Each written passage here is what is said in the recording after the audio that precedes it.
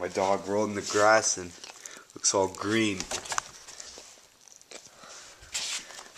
So, all I can say to y'all is Happy St.